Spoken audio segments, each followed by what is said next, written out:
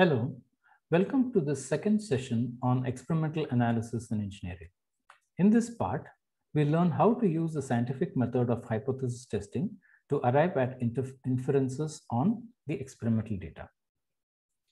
What is the scientific method? It is a systematic way to arrive at answers to questions. It has been devised so as to minimize human bias towards the outcome. There are four major steps in the method, and the method itself is a cyclic process. The first is the characterization or observations by careful experiments. All the analysis that we have done so far, that is confidence intervals, fitting, and inferences, are part of this block, which we call as observation. We had listed down some questions based on our observations. We are going to seek answers to those questions now. To begin, we start to guess answers. Based on our prior knowledge, intuition, or simply out of the box. These guess answers are called as hypotheses. How do we know if the answer is right? We have to make a prediction of something else which has the same underlying cause. That is, if the hypothesis is true, not only is the observation true, but something else also must be true. Prediction that way is like an observation, only that it has not yet been observed. The next step is to test if the prediction is true. If the prediction is false, then the hypothesis fails, meaning we have not got the right answer. Remember, hypothesis was a guess answer to the question. And if the test fails, it means the answer is not right. However, if the prediction is true, then we have some confidence in the hypothesis because it explains at least two things. That is, it explains the observation and it explains also the prediction. Let us illustrate this by a simple day-to-day -day example. Consider a case of display failure. The situation is a daily affair. We come to our office and switch on the computer and its monitor. We notice that the computer monitor display is blank.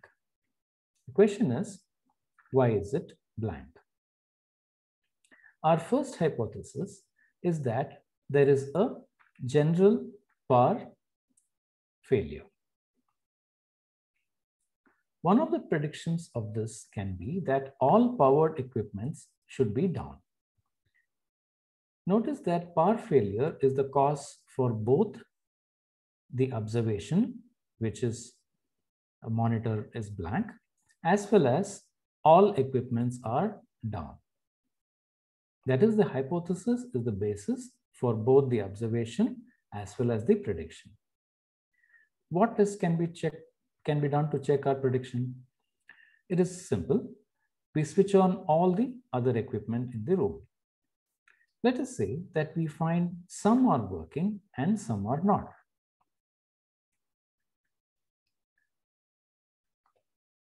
That means our hypothesis of general power failure is false and has to be rejected. Hypotheses can fail, and most often they do. We have to keep trying. That is why the scientific method is a cyclic process. Let us try a second hypothesis. We know that in large buildings, there are three phases of electrical supply. Each phase supplies to a set of equipments. Based on this knowledge, we guess, which is our second hypothesis, that at least one phase is down. If this were true, what else can we predict that has the same cause? It's simple. All powered equipments connected to that phase must be down. The test is quite simple. Switch on the equipment phase by phase. Let us say we observe that all the equipments connected to the same phase of the monitor are all down. And those connected to other phases are up. This means that our hypothesis is not false. It could be true. Why is it that we are not certain about our hypothesis? Because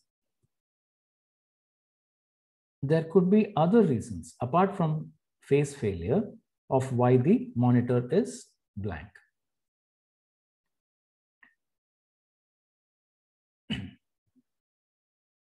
this requires further investigation, meaning we have to go back and come up with other hypotheses. So you see that the uh, scientific method is a cyclic process. No matter whether you get true or false outcomes, you have to keep trying alternate hypotheses or other predictions for the same hypothesis. Is there an end to this? We don't know because tomorrow someone may come up with a prediction that falsifies the currently accepted hypothesis. This, you know, has happened throughout the evolution of science. We thought Newtonian physics explains everything we see. Then we had general relativity, needed to explain bending of light under gravity. And then we had quantum effects at the atomistic length scales and lower. So each hypothesis is true only to within some limited scope.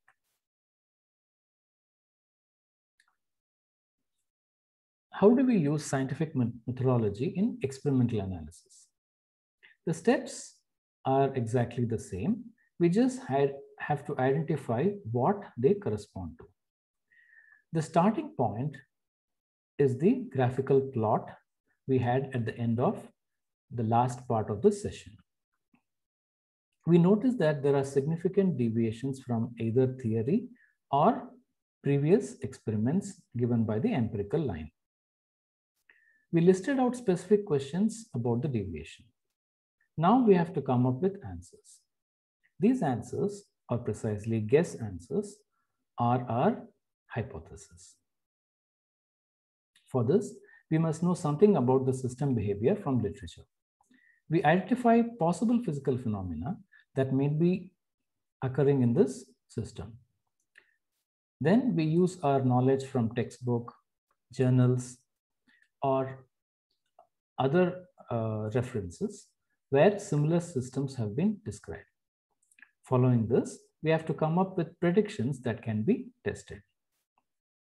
We can repeat the uh, cycle of hypothesis and prediction testing as discussed earlier. Let us illustrate this with an example. Consider the problem of a sphere dropped in a fluid and we determine the time it takes to reach the bottom. After several measurements, we observe that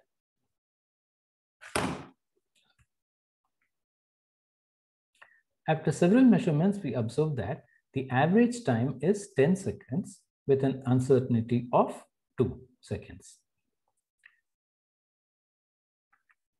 From theory, if we calculate the inertial time, given by square root of 2L by G, it only, it's only 5.5 plus or minus 0.1 seconds. This means that the observed time is significantly higher than expected. Why is it significantly higher? Because this value at most can be between 8 and 12, whereas this is near 5, that is 5, 4.9 to 5.1. So it is beyond the confidence intervals that this value is higher than this. And we say that this value is significantly higher than this value. We can now pose a question. Why is this sphere moving slowly than what is expected? Based on our knowledge of solid motion through a fluid, we can come up with some hypotheses. These could be that the fluid drag is important and cannot be neglected. There is a human error. And steady state has not been reached. Let us inspect each one of these claims with a prediction.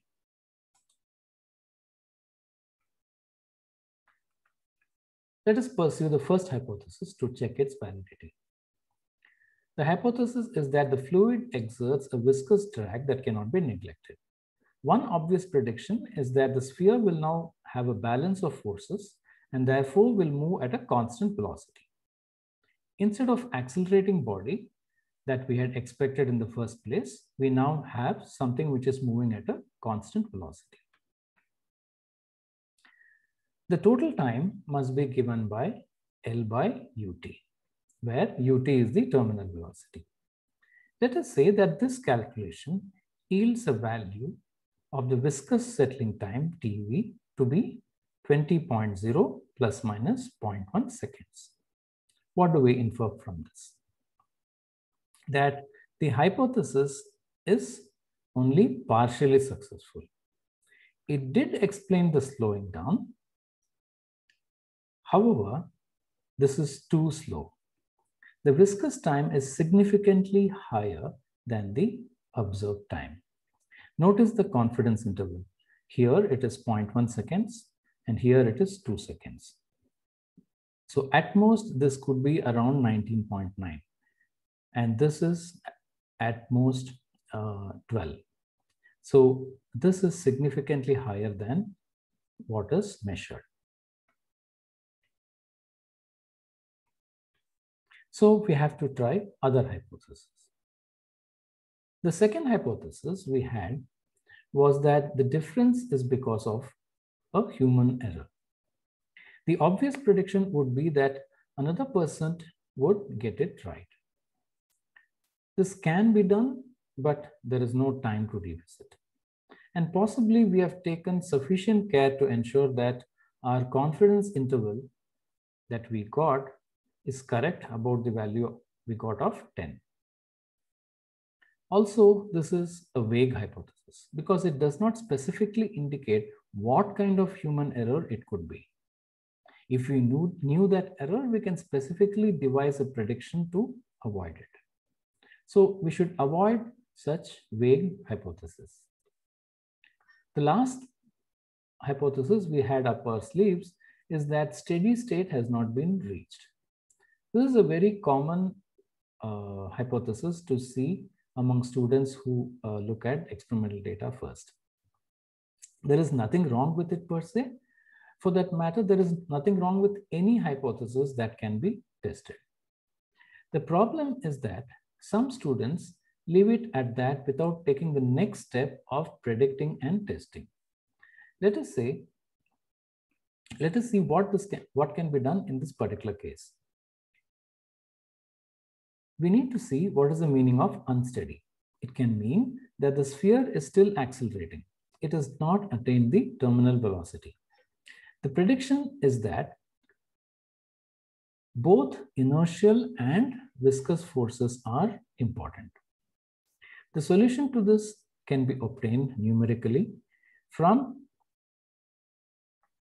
uh, unsteady equations of motion of this sphere. Let us say the outcome of this calculation yields 11.4 plus or minus 1.1 seconds. Now this prediction is within the observed range of our actual measurement. Therefore, we can say that the hypothesis could be true. Again, we insist that the hypothesis is only possibly correct because there may be other reasons for the slowing down. We may find that using another sphere or a different liquid, this hypothesis also fails. We should keep open minds and uh, be ready to face a challenge when our prediction fails. To conclude this part, we learned about the scientific method and how it reduces human bias. Hypothesis forms the underlying cause for both observation and prediction. Scientific method is a cyclic process of predictions and testing. We saw two illustrations of one of a display failure and that and second of a settling time of a sphere in a fluid. We saw how we could use the scientific method to understand experimental observations. The broad conclusion is that we need reliable experimental data with some confidence intervals to be able to arrive at a scientific understanding of the phenomena behind it. Thank you for listening.